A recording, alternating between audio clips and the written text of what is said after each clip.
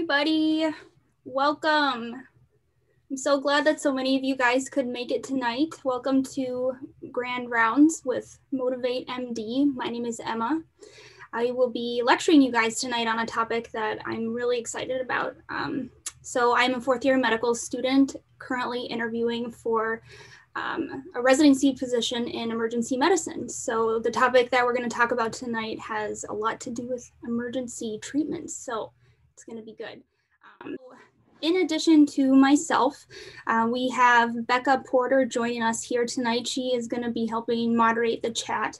So if you guys ever have any questions during the presentation, um, feel free to interrupt me if you guys want. Otherwise, um, go ahead and put your question in the chat. Before, my name is Emma. I'm a fourth year medical student. I am going into emergency medicine. So tonight's topic has a lot to do with that. We're going to be talking about tension pneumothorax. So I hope you guys are excited and that this is inspiring for you. Um, so let's get started. All right, so you should have been emailed um, a link to fill out a form, and that's something that you should do as we're going through this case here together tonight. Um, this is a great way for you guys to get familiar with a SOAP note. And for those of you who don't know what a SOAP note is, it's the documentation that physicians use when they interact with patients. It's like the record keeper for electronic health records. So, yeah, make sure that you fill that out to the best of your ability. It doesn't have to be perfect by any means, but when you do, you will be entered for a chance to win a very cool Motivate MD planner. So you don't want to miss out. And then um, in the left corner is the outline. So this is just the format for today's talk. I'm going to go through a case together, um, and then I'm going to dive into the physical exam, differential diagnoses, um, assessment and plan, and then talk a little bit about the pathology of the disease um, itself. And then here's a, uh, what the form will look like. And then um, if you guys didn't see, Becca put a link to it in the chat. You guys, I couldn't resist. Happy Valentine's Day, or almost happy Valentine's Day. Let's do this. A 22 year old male presents to the emergency department by ambulance with a chief complaint of stab wound to the right chest. As the patient is wheeled into the trauma bay, you observe that he is unconscious and the knife is still in place. The EMS, Emergency Medical Service, personnel inform you that the patient recently lost consciousness. As the medical team gets him hooked up to the monitor and you start your primary survey, ABCs, which we'll talk about in a second, you realize that he is becoming hypoxemic and suffering from cardiorespiratory compromise. So I want to first ask you guys, does anybody know what the primary survey means or what that entails for um, trauma cases? And if you could um, unmute yourself, that would be easier for me. In reference to the acronym ABC, is it airway, breathing, and circulation? Yes, yep, very good. Awesome. Good. Yeah, and, and that's essentially what the primary survey is too. Very good. Does anybody have an idea of what's going on? Um, it seems like he's low on oxygen. Mm-hmm. Yeah, very good. Any other thoughts?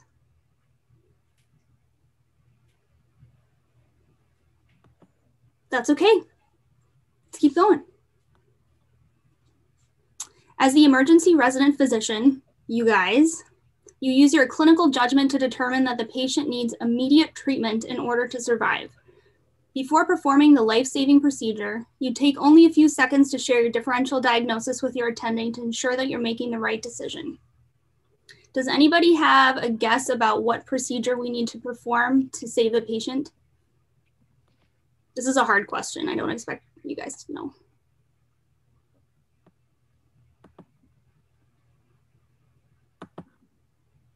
No just, guesses? Just just guess would be emergency airway access. That's a very good guess. That's a very good guess.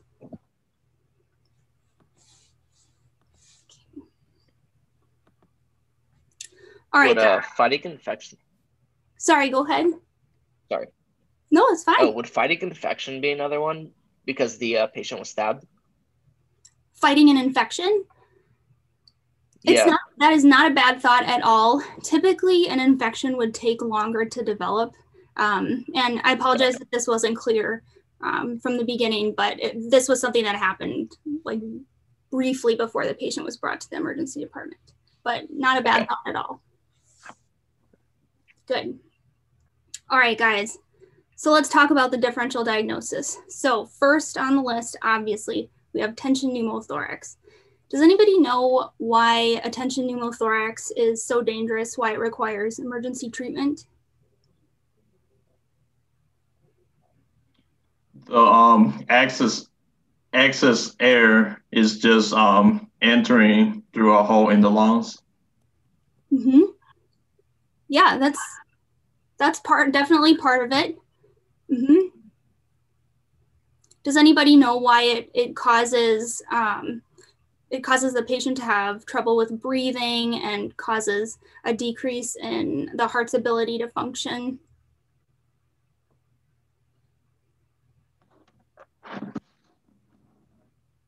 Okay, that's why we're here. We're going to talk about it.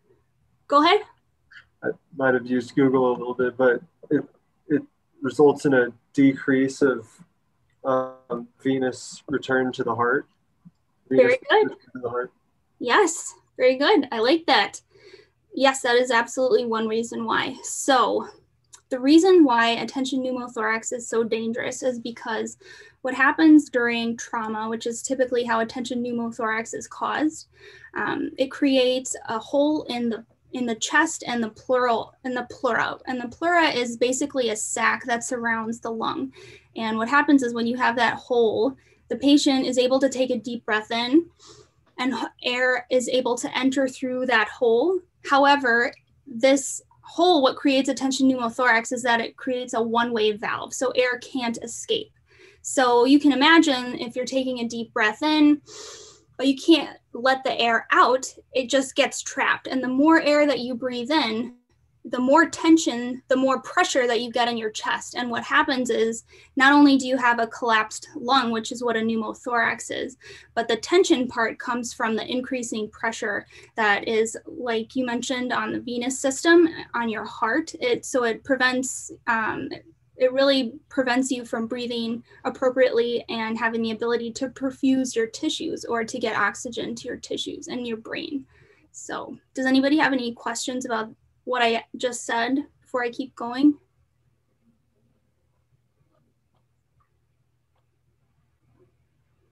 okay let's keep going all right, and I have some pictures coming up here um, to show you what that looks like on imaging, but um, I want to keep going with some of this first. So let's talk about the second item on our differential diagnosis, a pulmonary embolism. Does anybody have any idea what a pulmonary embolism is? Yeah, so the the lungs is um blocked by a blood clot, the the arteries in the lungs. So it's, it's a blood clot. Yeah, very good. Absolutely. Yep. So, does anybody have a guess? Jonathan, do you have a guess about what causes a PE or a common cause of a PE?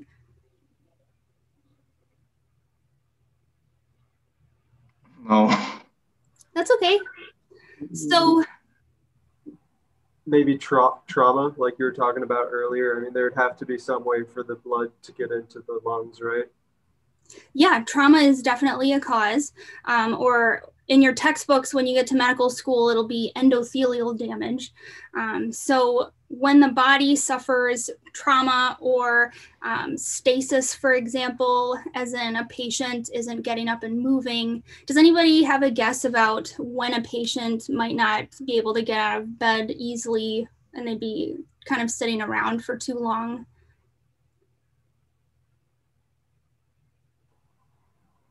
Double amputee.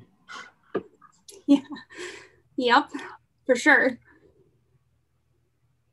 Surgery. So a patient that just had surgery is typically or uh, could be bed bound, depending on obviously what what they had surgery for. Um, but if you guys are familiar with working in the hospitals, I don't know if you've seen patients kind of being forced to get up and move. And um, part of the reasoning for that is not only to help the patient recover um, in general, but to prevent blood clots from forming in the legs because what can happen is those blood clots can uh, break off or embolize and travel through the venous system and through the heart into the lungs and then you can get a PE and PEs can be deadly um, sometimes sometimes they're not immediately deadly and there are treatments for that but um, depending on the size they can be a pretty bad deal all right. Uh, and then I just want to mention another cause of uh, developing a PE would be hypercoagulable states, meaning that the body is predisposed to clotting. Um, and another, besides endothelial damage and stasis, like we just talked about, but there are certain conditions like pregnancy that can make patients uh, more predisposed to forming clots. Does anyone have an idea of why that might be the case for pregnant women?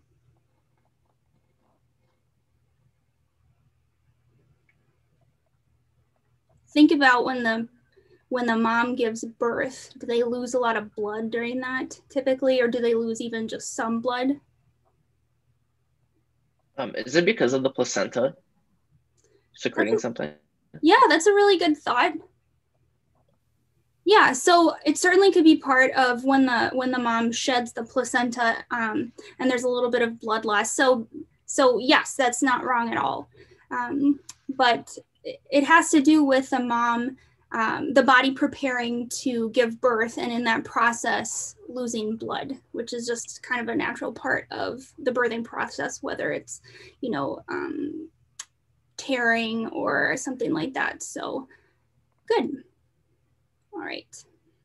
And then in terms of the symptoms for a pulmonary embolism does anyone have any guesses for what some symptoms might be? How would a patient present to you with this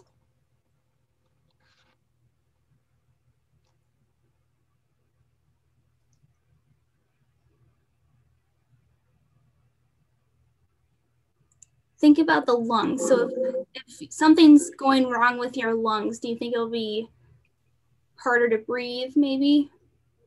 Have some shortness of breath, or if we want to pull out our medical words, dyspnea.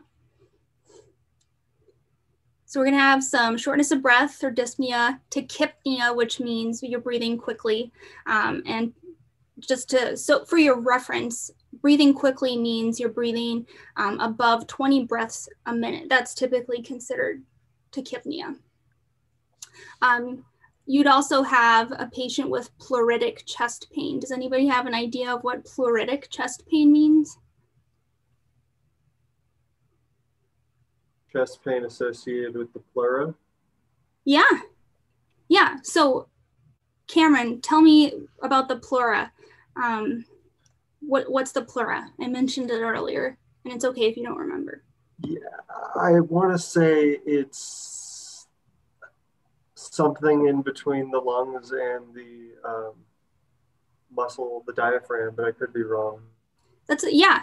I would say essentially it's it's the sac that's that surrounds the lung, kind of between the chest wall and the lung. So very good. Um, yeah, so pleuritic chest pain would be pain, chest pain that increases with inspiration and exhalation.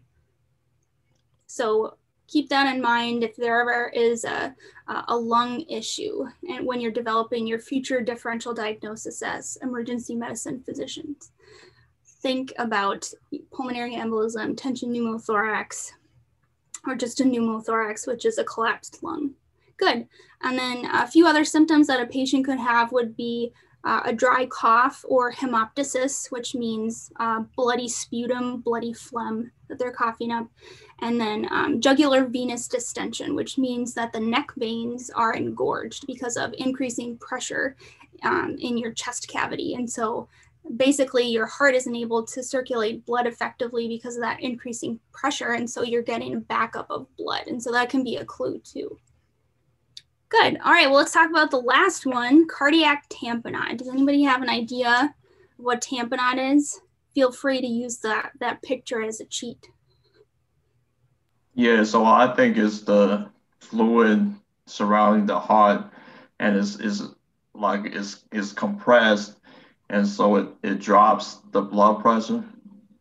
Very good. Yes. Very good. Exactly. So, um, cardiac tamponade or pericardial tamponade is when fluid, um, usually blood, accumulates in the sac around the heart. So, the heart, you don't just have the heart sitting in your chest cavity, it's covered by a membrane, and there's like a pseudo space between the heart and um, this membrane called the pericardium. And sometimes, if you if that space is violated, like for example, with trauma, somebody getting stabbed or something going wrong in surgery, then blood can accumulate and compress the heart and prevent it from functioning properly. So um, you're going to get similar symptoms to, for example, tension pneumothorax because um, your body is not getting the oxygen it needs because your heart isn't able to pump effectively.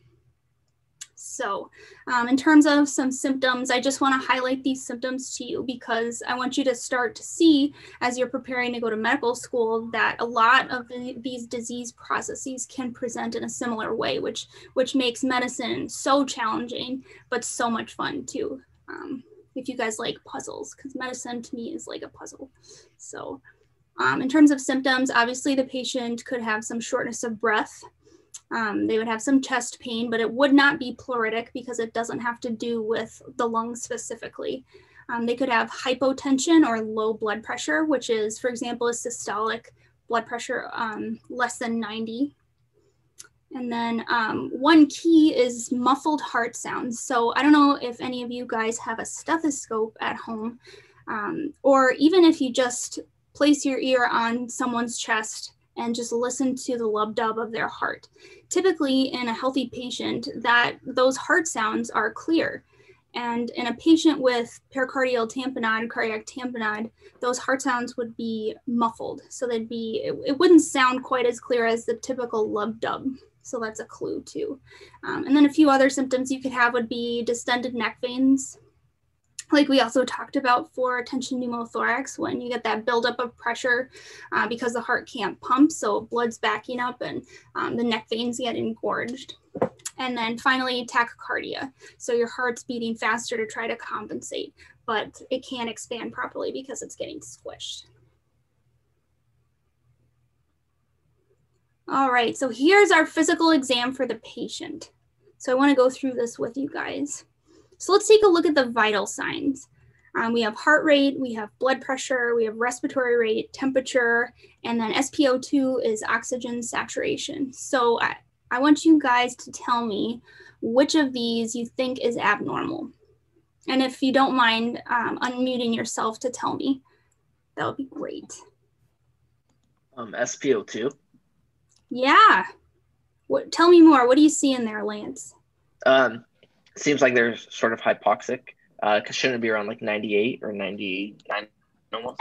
Absolutely, or even for even for a healthy 22 year old male who has not that we know of any associated comorbidities or other um, health conditions, we would expect this patient to have a, a very high oxygen saturation. So very good. Yes, 82 is is low.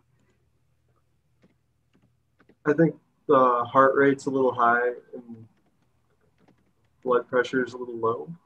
Absolutely. Yeah, you're spot on. Heart rate is pretty high. So typically, um, I guess depending on the source that you use, but for me, I say above 100 beats per minute is considered to be tachycardic. So a patient who has tachycardia and who has uh, low blood pressure, as Cameron astutely pointed out, 70 over 45, that's a scary number something's not right. Um, so when you have a heart rate of 119 and blood pressure 70 over 45 together, start thinking that this patient could be going into shock.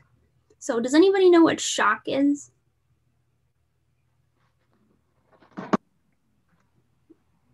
Uh, involuntary shutdown of the autonomic nervous system.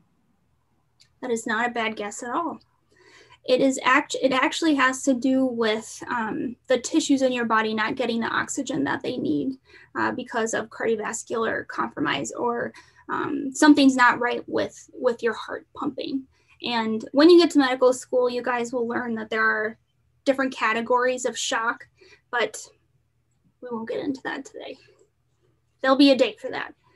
So let's get into more of this physical exam. So we have general. So what I mean by general is that this is how the patient appears to you. What do you see? So the patient is in distress because they're unconscious. Their, their vital signs are telling you that they're going into shock or they're hypoxemic. Um, their blood oxygen saturation is way too low. Um, and they, per EMS, they recently became unresponsive to voice command or external stimuli. And so, what I mean by external stimuli is when you have a patient that is unconscious um, or not responding to you, one way that you can try to interact with them and assess, you know, how serious is this? Can they wake up? Um, is by using um, external stimuli. And so one favorite of emergency medicine is the sternal rub. Um, and what you do is you take your knuckles and you put it on your ch- the patient's chest and you push down pretty hard and you rub. So you guys should try that to yourself. Um, it hurts. That is, you know, if if the patient is mildly sedated, you know, they would probably wake up to that and be like, "What are you doing? That's really painful." But um, for a patient that doesn't respond to something as uh, painful as a sternal rub, then we know something's not good. All right, H E E N T. Does anybody know what that stands for? Yeah, um, the the head the head neck exam basically. Exactly. Yep. Very good. Yep. So essentially the neck and above. So I say I describe the head as atraumatic. Excuse me me, and normocephalic. So atraumatic is we looked over the patient's head. I didn't see any signs of, of trauma, as in um, like open head wounds, evidence of blood, things like that. And normocephalic is referring to the shape of the patient's head. Um, so in this patient's case, it's he has a normal head shape. Um, we noted distended neck veins, and we kind of talked about that already. And and how that um, has to do with a tension pneumothorax. And then I put in the pupils are equal, round, and reactive to light bilaterally. Um, do you guys know how to test the pupils? Can anybody tell me how to test them? Exposure to light, see if they dilate. Yeah, exactly this is like every Grey's Anatomy episode is they you have them taking a flashlight and, and shining them in the patient's eyes. So very good. All right. Um, so sorry, I accidentally went to the next slide, but this is just highlighting some of the things that are abnormal, but we'll just keep going. So CV or cardiovascular, this is where we're listening to the patient's heart. Um, so what do we see? We see that the patient is tachycardic, like we talked about earlier. Distal pulses are faint, meaning when you go, when you guys are an emergency resident physician or even a medical student, you're helping out with a case in the trauma bay, you're going to feel for distal pulses. And what I mean by that are radial pulses, which here's your radial pulse. You guys can do it to yourself. Try to find find your radial pulse. And then another example of that would be um, your pedal pulses, which are on the, um, the tops of your feet. So they're faint, which means that that's more evidence to us that something's not right with this patient's cardiovascular function. Something's preventing blood from, you know, moving effectively in the body. And then let's say I list capillary refill is greater than two seconds. Does anybody know uh, what capillary refill is or how to test it? Um, isn't that like when you press on your on like the thumb pad of your hand and then you see how fast it like refills with blood?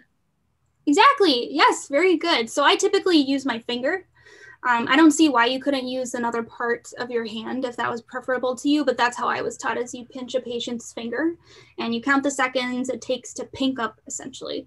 Um, and so for a normal patient, uh, less than two seconds is what we wanna see. But for this patient, it's greater than two, which is unfortunately more evidence that this patient is not doing well. Something's wrong with his heart. Excuse me, may I ask a question?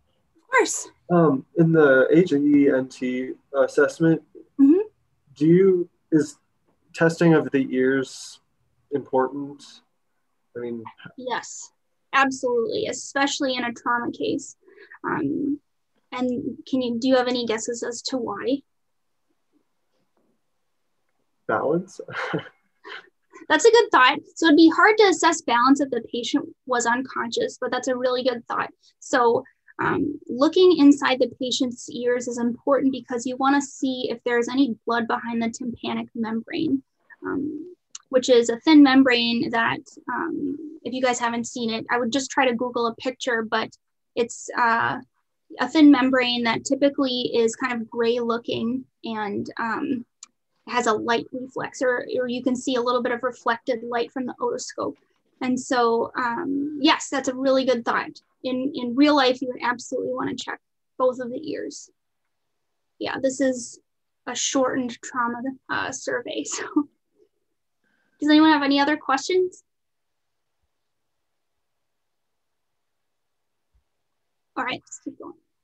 Okay, finally, oh, and then peripheral edema. So just briefly, peripheral edema means um, swelling in your extremities or in your arms, your hands, or your legs. I don't know if you guys have ever maybe eaten too much salt, um, or at the end of the day, you take off your socks and you notice there's an imprint of, of your sock or your pants, and um, there's a little bit of edema there from um, you know being on your feet all day or whatever you were doing. But um, edema can be a sign of heart failure or heart problems in some patients. So it's always good to check for edema, and you do that by um, basically taking your finger and pushing down on their legs to see if if it's like a doughy sensation or an, there's an imprint of your finger. That's evidence of edema.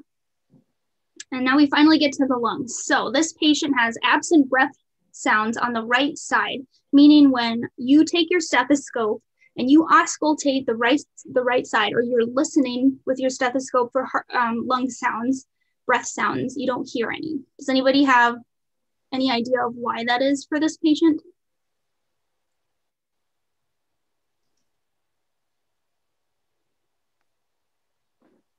Um, what did you say? Unconsciousness. Yeah yeah, um, that's part of it too. So pneumothorax means collapsed lung.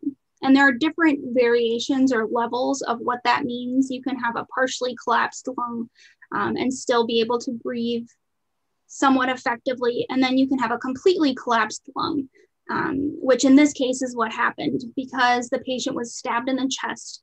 Um, that knife violated the pleura which is the sac surrounding the lungs, air was able to get into the chest, created that one way valve that we talked about. And you got increasing pressure in the chest that's causing the lung to get even more squished and your um, the other organs in your chest cavity to be squished and pushed over to the opposite side. So that's why there are no breath sounds on the right side. And for the same reason, uh, this patient also has hyperresonance to percussion. Um, and this is, I think, a little bit more antiquated, but um, what it's referring to is it so when you are a medical student, you will learn that percussion is a physical exam tool that you can use in certain situations. For example, if you've ever been to the doctor and they took their hand and they kind of tapped it like this, um, and you could kind of hear the sounds that it made in your stomach. So that's what percussion is. And you can do it on your chest too. And so hyperresonance to percussion would be that you can hear that sound. It's very distinct um, instead of being blunted by the organs that um, should be in, in that exact spot. But in this case, the lung is collapsed and there's a lot more air. So um, it makes the sound kind of reverberate more, if that makes sense. Does anybody have any questions before we move on?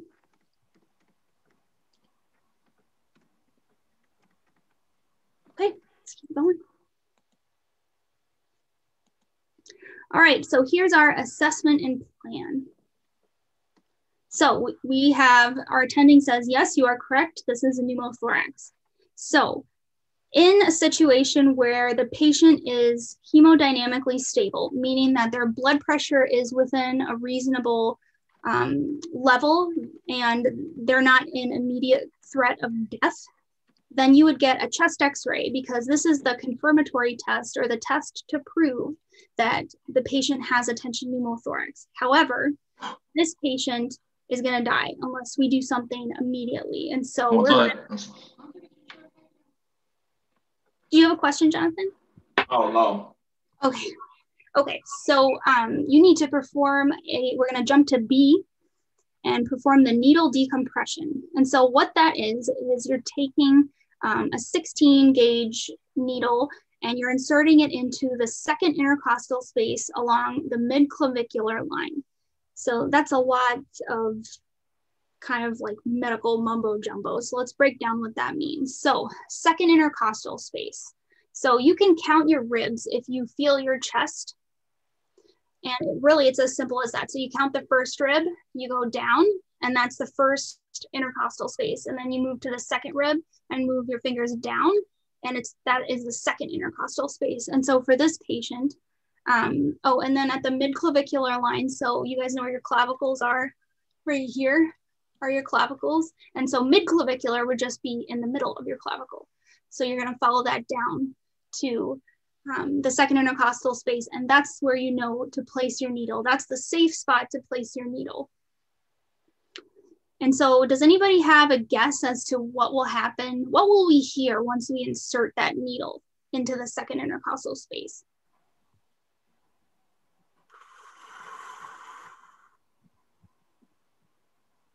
Like the hissing of air releasing. Exactly. Yeah. Yeah. Um, I'm sure that's been in a movie. Maybe you guys have seen it, but somebody collapses and they very dramatic. They take a pen and douse the spot in alcohol, and then you hear the hissing noise, and then they wake up. Um, so that's not exactly what it looks like in real life, but essentially that is needle decompression. So that's the emergent procedure that we need to perform as soon as we suspect that this is a tension pneumothorax to save the patient's life. Everything else is second to that.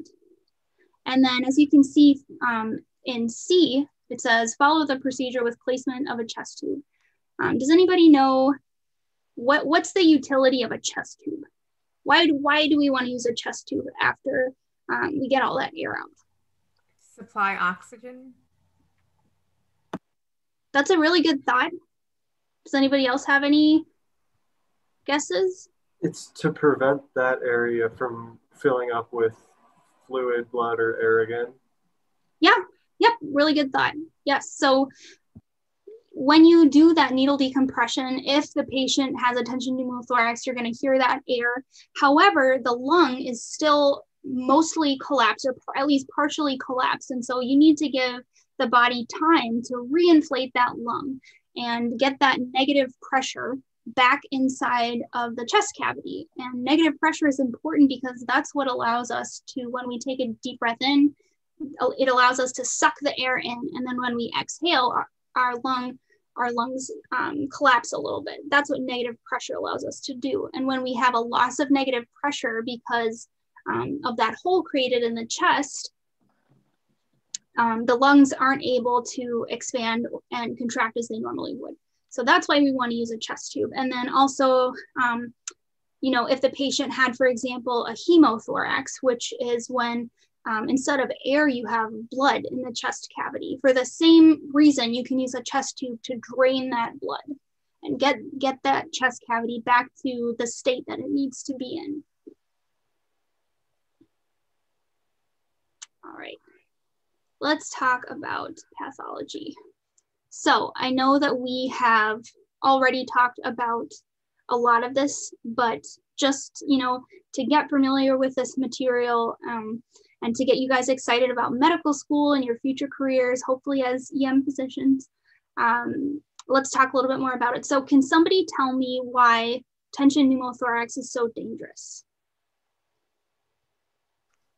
You're not getting enough oxygenation.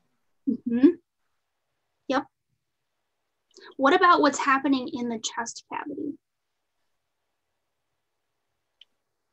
We're increasing the pressure, so therefore you're getting less oxygen coming in. Exactly. So which you should have negative pressure normally. Yes, very good. Very good. Um, so you're not getting, you're going into shock and you're not getting enough, um, your tissues are not getting enough oxygen because your heart is getting squished by that one way valve that let that lets air in but not out. So you have a, that collapsed lung on the same side as that one-way valve or where the patient was stabbed. And um, all that pressure is moving your internal organs to the opposite side and they're getting squished so they don't work as well. Good. Can anybody tell me some of the symptoms that a patient might have with this? Uh, shortness of breath, chest pains, Mm-hmm. um, JVD, as we talked about, Yep. um, and then uh, the edema and the extremities. Close. So, so for this specific case, um, and in general, tension pneumothorax wouldn't traditionally present with edema or peripheral edema. Okay. Um, but it's a really good thought. So, peripheral edema can present in a lot of different conditions, like heart failure. Um, but that was a good guess. Good. Anyone else have any other thoughts they want to share? Any questions at all on on what we've talked about? Would it also present with uh, high blood pressure, or sorry, low blood pressure and high heart rate, as we talked about earlier? Absolutely, it would. Yes. Can you tell me why?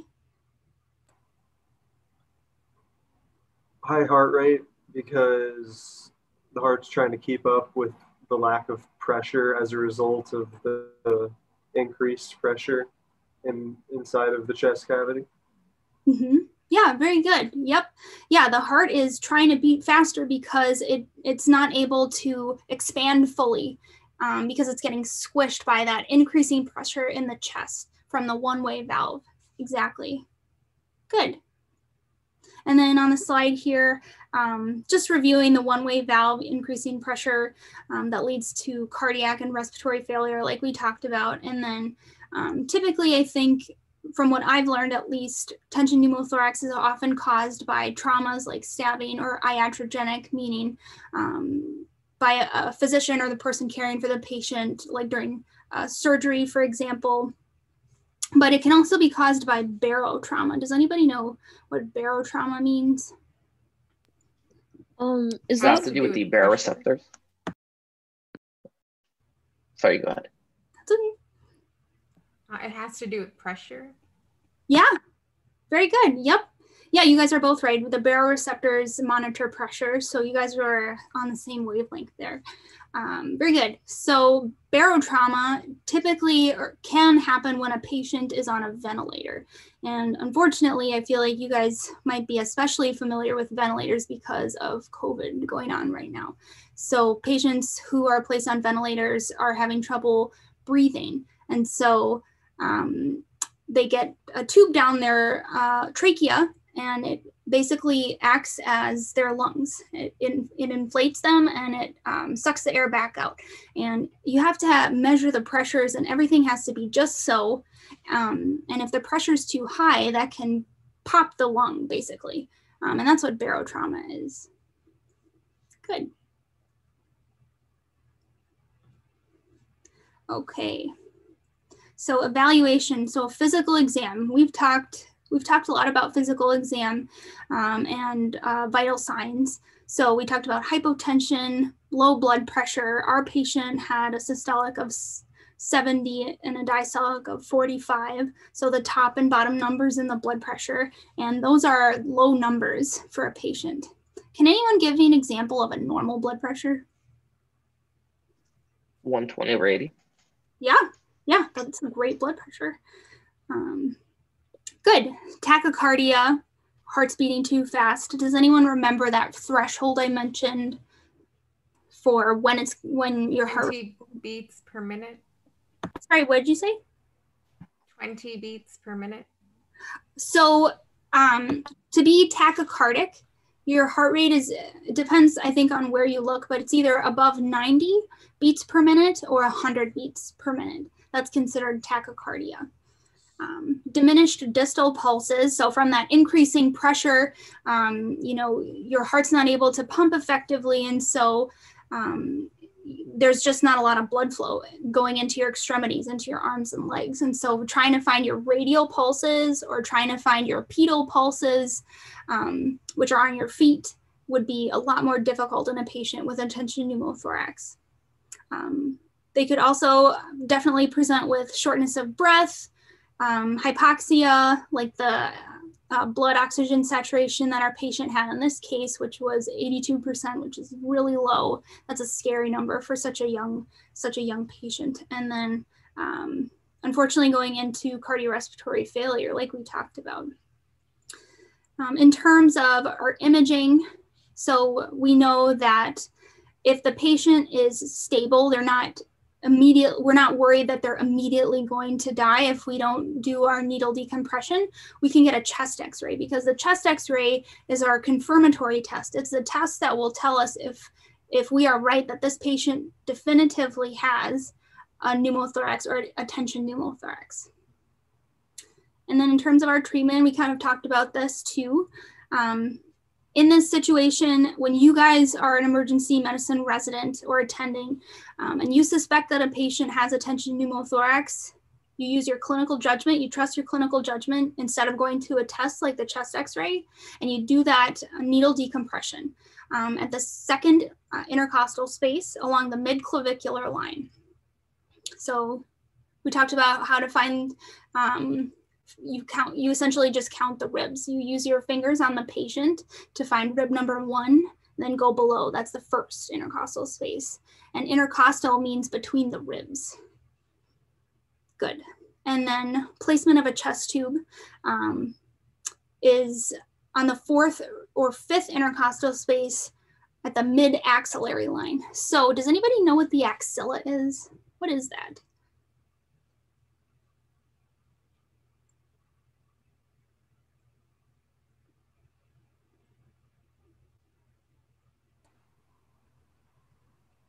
I'll tell you. I, I had a quick question regarding yeah, tachycardia. Yeah. Um, would somebody who just got finished working out be considered tachycardic if they had a high blood pressure? Or rate, sorry, high blood high heart rate. Yeah, there you go. Yes, absolutely. Okay. Yeah, if you're if you're doing it right, you want to get that heart rate up. Um, in terms of like disease pathologies or trauma when a patient is, you know, for example, resting in a bed in the emergency department. They're just sitting there, but their heart rate's going really fast and their blood pressure is really low. Those are clues to you that something is not right. But for a healthy young 22 year old, um, you know, when you're working out, it's it's a good thing to get your heart rate up. Absolutely. Um, so we were talking about. Um, the- I had a question as well. Yeah, go ahead. Uh, so for this patient, um, would they all also be acidic as well? Since their heart rate's so high, they're producing like more lactate than normal, or like does that have anything to do with this like being treated? That's a really good thought. So, lactate is something that's produced when your tissues um, don't get enough oxygen. And your body has a little bit of a, a reserve, but um, if you go for too long in either a certain area of your body or your entire body is not getting enough oxygen, then you could definitely start producing lactate, which um, when you guys take biochemistry, you'll learn about how cells sometimes use an anaerobic metabolism when oxygen is not available. Um, so that's a really good thought. And that is actually a, a test that physicians that you guys will one day use um, to assess your patients is you will draw lactate and that's kind of a marker for um, how sick somebody is. Okay i'm sorry i can't oh absolutely i can't remember if i told you what the axilla is. The axilla is your armpit that's what the axilla is. So when we say mid axillary line what we mean is you find the patient's armpit and mid axillary just means the midline or in the middle. And you count down to the fourth or fifth intercostal space. And that's where you're going to take your scalpel and make an incision and then feed your chest tube into that spot so you can drain the air or blood or whatever is in the chest cavity that you need to get rid of to allow the lung to reinflate. Good. Okay, guys what do you see? Let's start with the left side first. What do you guys see here?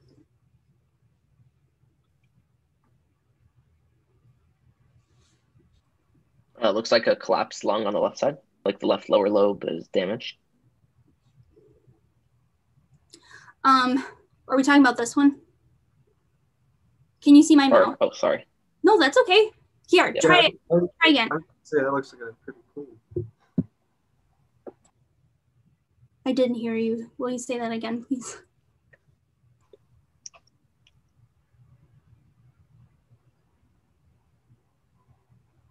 I was gonna say that looks like a pretty clean X-ray.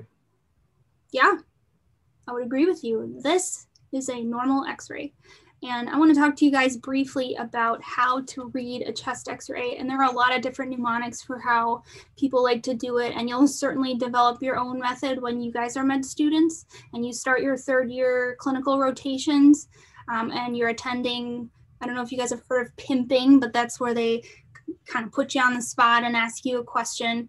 Um, but they'll say, hey, can you read this chest x-ray for me? What do you see? So let's talk briefly about how to do that. So first thing we, we can do is let's use our ABCs again. Let's start with that. So let's start with the airway.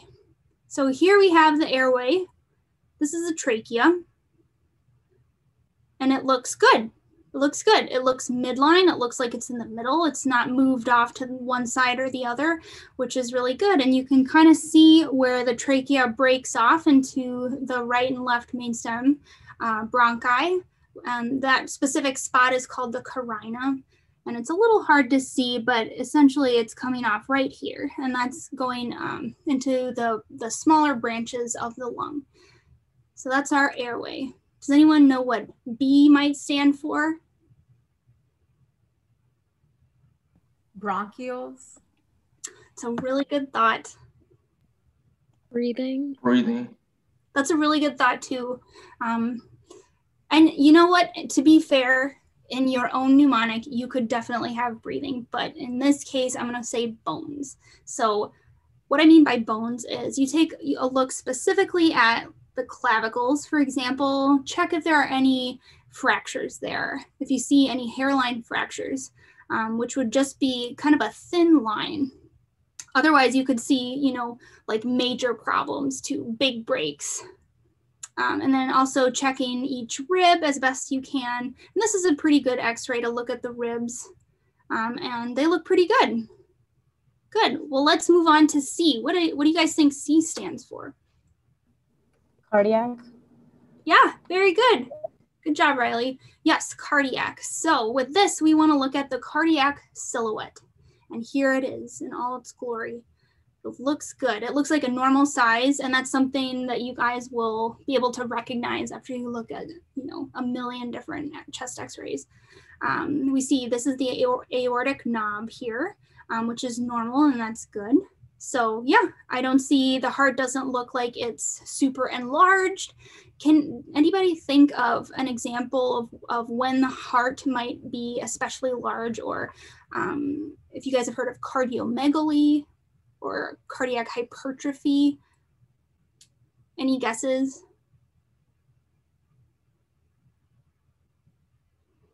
It's a hard question. Heart failure. Yeah, very good. Yes, exactly, Cameron. Heart failure. Um, yep. So the heart is working extra hard to pump blood, and over time, it gets bigger, bigger and bigger and bigger. And I encourage you guys to just Google uh, what that looks like um, in a patient with heart failure, and it can be shocking how big some people's hearts can get. So very good. That's our cardiac silhouette. So we have A, B, C, and now we have D.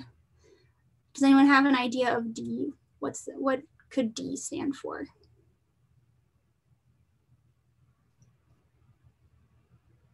Diaphragm. Distension. Diaphragm, yes. Yes, distension's not not a bad thought, um, but that's more of a physical exam finding, like when a um, a patient's belly is, you know, super kind of inflated. That would be a distended abdomen. But good guess. Yes, so diaphragm is what we're talking about, and here it is. There it is. It's nice and clean. We can see um, it's outlined very well. This spot right here, if you guys can see my mouse, mouse is called the costophrenic angle. And in a chest x-ray, we like to see that this is very sharp. We can see it quite clearly. Um, in a patient who has pneumonia, for example, they could have a consolidation um, or an infection, or um, in a chest x ray, it could be like a hazy spot, for example. Um, and that could blunt the costophrenic angle and make it look uh, or make it more difficult to identify those edges. So this is this is a really good looking chest x-ray. Um, everything looks good so far. And then E stands for everything else. Good, very good. Let's go to the next slide. Oh, excuse me, we, we have to do the, the coolest one. We need to talk about the right side. So we've talked about what's normal. So can somebody just give me a couple of things or one thing that, that you see on this chest x-ray that doesn't look quite right to you? It looks like the left lobe um, is collapsed on the lung because you're saying the extreme white spots or the, the area. Mm-hmm. Yeah. So when you're looking at a, a chest X-ray, um, it's actually what you're looking at is the right side. So the left side is where your heart is, and the right side is it's like the opposite. Um, if that makes sense. And it's totally fine. It just takes practice to learn how to read them. So this is the right side of the chest, just like in our patient who had that collapsed lung. So this is um, actually from a patient with a tension pneumothorax. And um, right here, you can see all this empty space, really. You don't see any of those white lines that we have over here. Um, and these are what are called just normal lung markings, um, which has to do with the vasculature in your lungs. And th this is uh, pretty normal, but we don't have any of that here. And so this is telling me that the lung has collapsed. We have a pneumothorax here. Um, what else do you guys see? So I'm, I actually thought what Lance thought as well, considering all of the white space on the left side of the patient's body. Mhm. Um, and so, what would that be? Would that just be fluid? That's a really good question. So, because I don't know this patient's specific history, I'm just going to tell you what I think it is. Um, so, I think that this is the patient's lung that's being pushed up. It's being because of all this air here um, that's increasing the pressure in this patient's chest. It's pushing, it's pushing the organs, it's pushing the heart, it's pushing the trachea even to the opposite side. Whereas in this normal chest x-ray, we see that it's, you know, right in the midline or right in the middle, which is normal. So everything's getting squished over here. Um, it's not a bad thought to think that there could be some fluid because fluid uh, does have a more of a white look. So I can't tell you that you're wrong. If that makes sense. Sorry, that's kind of, No, understood. So, black usually indicates more air. yes, exactly. Black is air. Yep, very good.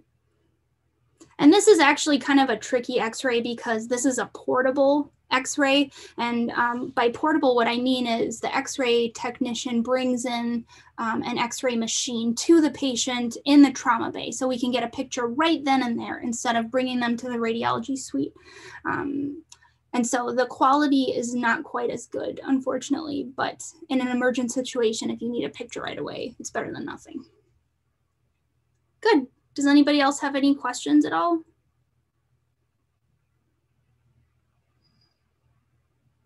No? Okay. Um, and then I just want to point out too, if you notice, this is all, this has been completely whited out here and we don't see that costophrenic angle um, on the opposite side. So just wanted to point out the difference to you um, for when you guys are looking at chest x-rays. All right, we'll go to the next slide.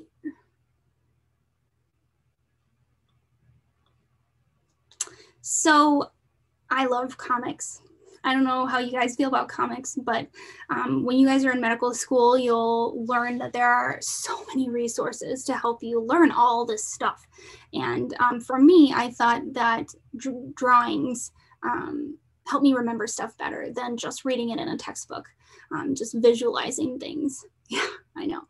Um, so This is from medcomic.com, and it's essentially talking about all the things that we already talked about regarding a tension pneumothorax. We see this one-way valve here. Air is rushing in through this hole in the pleura. Um, you see this, this little drum um, that's um, personifying hyperresonance or that echoing sound, the, the extra echoing that you can hear when you do percussion. Decreased breath sounds because the lung is collapsed, it's getting squished, so it can't expand like the other side might be able to do a little bit better. So you're not hearing the normal sound of air coming in and out. And then we have tracheal deviation, which is when you have that increasing pressure. And like I showed you guys in the last slide, in a normal chest x-ray, what you see is the trachea is nice and in the middle. We like to see that. If it's moved off to the side, that is a bad sign that something's not going right. And then the lung is very unhappy because it's like, we need to put this chest tube in, right? Um, but don't forget, we have to do needle decompression first, then we can put the chest tube in. Very good. That's it, guys. That's all I have for you. Does anybody have any questions? Sorry, my cat just walked in. Yeah, I mean, this isn't really in regards to the presentation. More, I'm just confused as to what um, the subjective, objective assessment slash plan is Sure. on the, you know. Yeah, absolutely. Um, and I remember when I was learning, you know, how to write a patient note and what was in each section that that was kind of confusing to me too. So that's a really good question. So the subjective of a patient's note of the SOAP note is all the information that the patient tells you. So what I mean by that is um, their HPI or their history of present illness, and that's how you would say um, John Doe is a 22 year old male who presents today with a chief complaint of abdominal pain or something like that. And then you go into the details of what they tell you. When did their symptoms start? What makes it better or their pain better or worse? What does their pain feel like? Does the pain radiate anywhere in their body? What have they tried taking um, for pain management? Oh my God, I'm really sorry, my cat. Um, what have they tried taking for pain management, like Tylenol, ibuprofen? So that's part of the subjective. Other parts of the subjective would be um, aspects of the patient's past medical history. So, what other conditions have they had um, or been treated for, like high blood pressure or um, high cholesterol, for example. Also, considering other aspects like their social history do they drink alcohol? Do they smoke? Um, what allergies do they have? Do they have allergies to medications? Do they have allergies to like seasonal allergies or to pet dander, things like that? And so basically, the S or the subjective is what the patient tells you. The objective, excuse me, is what you find yourself. And that would be where you would put, excuse me, your physical exam. So, like we talked about with our tension pneumothorax patient, um, putting in in uh, the first section, which is general. How does the patient look to you? Um, in a physical exam, what you guys will learn is that you typically um, always check three or four things. So you always have general. How does the patient present or appear to you? Do they seem their stated age? Are they in any distress? Um, you check their lung function too. You listen to their lungs. You listen to their heart. Those are basic things that you do. And then depending on what their chief complaint is, you might do an abdominal exam. You might um, you might check their musculoskeletal function if they have knee pain or something like that. For our assessment and plan, our assessment is our differential diagnosis. So we today we talked about tension pneumothorax, we talked about pulmonary embolism, and we talked about um, cardiac pericardial tamponade. So that's in our assessment. And um, this might vary depending on where you go to school, but typically you put them in order of most likely to least likely. And then in your plan, your plan is what do we want to do to help this patient feel better? Do I want to order labs? Do I want to get a chest x ray? Um, do I want them to follow up with me in two weeks? So I know that was a lot of information, but that's kind of big picture of what a SOAP note is. Does that help? Yeah, it definitely helps me better get an understanding just in general. Um, Good. Yeah. Awesome. Do you have any quick tips on like how to study because it's a lot of information coming at you in med school? So Totally. Well, that's a loaded question because I it's a little different for everyone. Um, for me, my first so the first two years of medical school are all essentially book learning. So you're going to be at your med school and the your primary focus is going to be to learn the different pathologies, all the different diseases, and get a really good understanding of, of the book knowledge so that when you're a third and fourth year, you can go out into the hospital working with patients and physicians and residents um, and be able to participate actively in the patient's care. So, first, the first two years, I found it really beneficial to um, work with other students. Um, and actually that's kind of where my passion for teaching came from was we my friends and i would we would kind of pick a topic um, of what we were learning and we would present it to each other. And not only is there some pressure because you know you want to look like you know what you're talking about but um, it forced you to learn and it forced you to be able to articulate effectively hopefully to your classmates about how to what does all this mean? Um, and being able to break it down in your own words, I think is really helpful. So that's what I would say for that. And then third and fourth year are just kind of, it's a little different. well, I want to thank you guys so much for being a part of tonight. Um, really excited that we now have virtual rounds and we're very excited to work with you guys and support you on your journey to medical school. So good luck to all of you. Feel free to reach out with any questions. And um, I wish you guys all the best. Stay safe. Thank you, Emma. Look Thank forward you. to doing this again. Absolutely. I can't wait. Hope to see all of you guys back. Thank you, Emma. Have a good night, everyone.